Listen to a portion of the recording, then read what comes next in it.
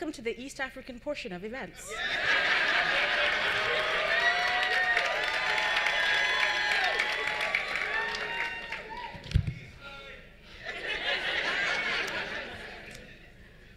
Hello, everyone. My name is Nanjala, and I am a traveler. For me, travel is not just an abstract experience, it's an expression of my personality. It's an expression of a desire to connect with people across time and space and geographies. I remember one time someone asked me, Nanjala, where is home for you? And I said without batting an eyelid, for me, home is where my suitcase is. Home is where I can build, where I can grow, where I can connect. And ideally, though, that is somewhere warm. I recognize that the ability to travel the way that I do is based on a great deal of privilege. Some of the opportunities that I've had in my life, the things that I've said yes to in my life, have opened up the world for me in a way that they simply don't for people of a similar demographic and a similar background. As we speak, there are over 1 billion people in the world today that would be categorized as migrants, 29 million people who are refugees. Many of them are young and African, such as the people in this room. Some of those people will have to make incredibly difficult decisions about why they're leaving and where they're going. Many of them will give up everything in order to pursue a dream. Some of them will lose that everything. Many of them will die. And so I don't take the opportunity to stand here, to travel here and stand and speak to you today for granted. I see it as a responsibility, an obligation to speak for people that the world would rather forget. I've been working in and around issues of migration for about 10 years now. And one thing that stands out to me increasingly is that we've built this complex bureaucracy that is more interested in preserving and protecting the status quo than in doing something about a world that is increasingly on fire. I see us building systems that are designed to survive and to perpetuate themselves in, and to survive in perpetuity, but not to do the core work of protecting human life. More importantly, I see something that causes me every day a great deal of concern. I see money replacing values as the core reason, as the justification for why we do the things that we do, why we speak up when we do, why we stay silent at other moments, and why we try and live in the societies that we have built. Now, look, don't get me wrong. I'm not so naive to believe that there was some kind of golden era where everybody was motivated by ideals and values, and everybody was simply acting out of the interests of other people. Individuals, societies, communities, they all operate with a measure of rational self interest. That's always been the case. But I'm concerned that increasingly we're not even making attempts to justify what we're doing or not doing in terms of values and ideals. We're not aspiring to be better than the dollar value that we place on people, on items, on communities. I'm concerned that increasingly money has become the metric for everything, and shockingly, including human life. And people who are found not to have met the values that we've assigned to human life, to say that these people are worth protecting, those people become expendable. Nowhere is this more apparent than in the conversation about human mobility. Since 2014, over 73,000 people have tried to get into Europe through the Mediterranean Sea. At least 18,000 of those people have died. Many of them are young, many of them are African. Even as we speak right now, there are boats carrying hundreds of people suspended in legal and political limbo on the Mediterranean Sea because European countries have decided that they are the wrong kind of human.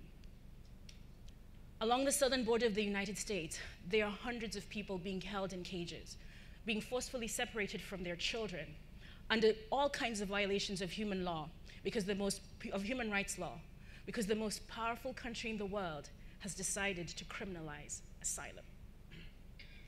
The Australian government has entered unconscionable agreements with the countries of the South Pacific to keep people of certain demographics away from their coastline, away from their territory, driving people to suicide, to self immolation, because they are the wrong kind of human. What does it mean to be the wrong kind of human in the modern age? A lot of it comes down to money.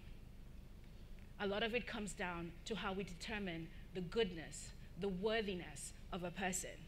And increasingly, states are articulating this value in terms of money, or quote unquote, the economic contributions that those people make. But the thing is, people have always moved. Mobility is as old as people. We move for various reasons that can be captured really perfectly in what poet Warsan Shire said. We move because home becomes the mouth of a shark. Sometimes that shark is more figurative than it is literal. Sometimes the shark is we wake up and we look around at our societies and we don't see a way of living up to the potential that we know we have within us. We don't see doors opening. We don't see opportunities presenting themselves.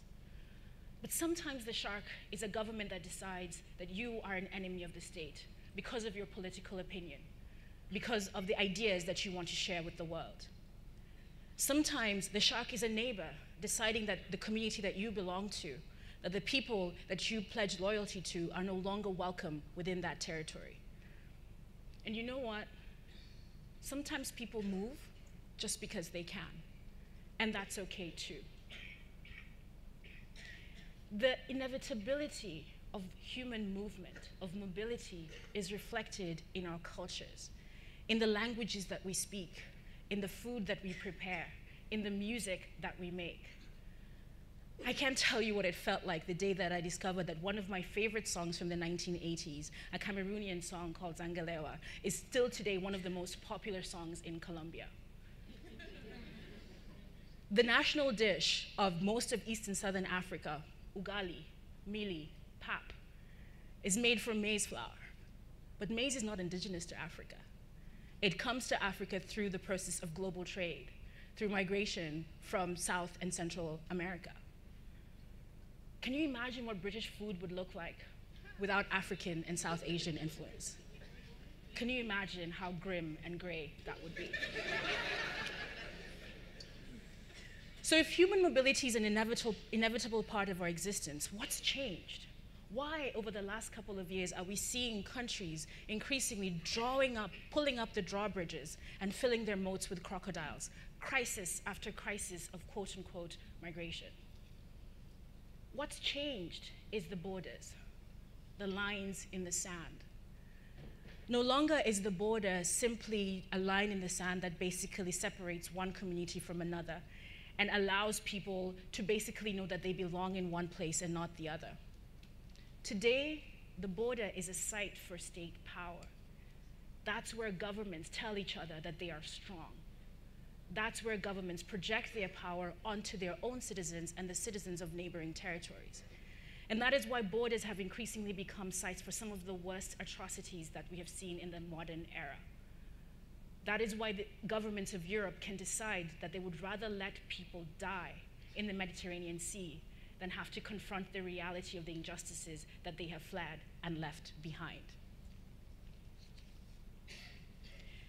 At the heart of all of this is the concept of good and worthy migration.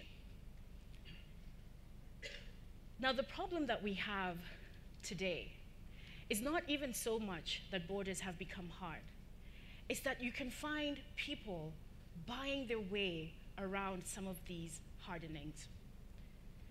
Ultimately, there isn't a place, a country in the world that won't take in a person for the right amount of money from the very same countries, from the very same societies that are being rounded up and are being punished simply for the crime of wanting to move. For the right price, you can buy not just a visa or an entry or an exit permit, you can buy a passport. You can change your citizenship. What we're saying is that the goodness and the worthiness of a migrant is not dependent on who they are, on what they bring in terms of culture and history, but fundamentally because of money. I'm speaking to you today primarily in the context of migration, but this is a thing that we're seeing playing out in all the facets, all the arenas of what I would call the international system. We see it in international organizations being coerced to not speak up, to not act on specific issues because they don't want to upset the donors. We see it when rich and powerful countries can com publicly commit atrocities against minority groups in their own communities, recorded on mobile phones, distributed around the world, and no one will do anything because they're afraid of offending the countries that have the deepest pockets. I could list multiple examples of how the decision making around protection, around saving human life, has shifted from we, the people of the world, working towards peace and security, to we, the states, looking to protect whatever marginal economic advantage we can protect in the society that we live. In economics, we talk about the functions of money as a measure of value, as a store of value, as a means of exchange. And underlying all of that is the idea that money allows us to make objects speak to each other. And by that I mean to allow us to measure the relative weight that we place on one object against another. But increasingly, we're seeing money itself become the desired object. It's no longer accumulation for the sake of building. It's no longer accumulation for the sake of making life better for people. It is accumulation for the sake of accumulation. And where does that leave the human? Where does that leave the person? The system, it won't survive. It can't. And open the newspaper, log onto the internet any day, and you will see evidence of this. All the protest, all the resistance, all the opting out is people saying, we do not want to be quantified in this way. The system that you're building is not seeing our humanity. It is seeing us as units of labor. It is seeing us as units of production, and we are more than that. What we're trying to do in this context, where so much power and the discourse of money has done, by shifting more power towards states and away from people, is we're trying to claw back a sense of humanity, and more importantly, a sense of wholeness. Ultimately, values, ideals matter in life and in politics. The thing is, it's not so much that we have built a perfect system, it's not so much that we can build a perfect system. It's about believing in the possibility of a perfect system and coming together to work towards that. That's what values do. They give us a sense of orientation, that we are all pulling in the right direction. Where values and ideals create centripetal forces that pull us together, money creates centrifugal forces that pull us apart. Money creates incentives for competition Values create incentives for cooperation and collaboration.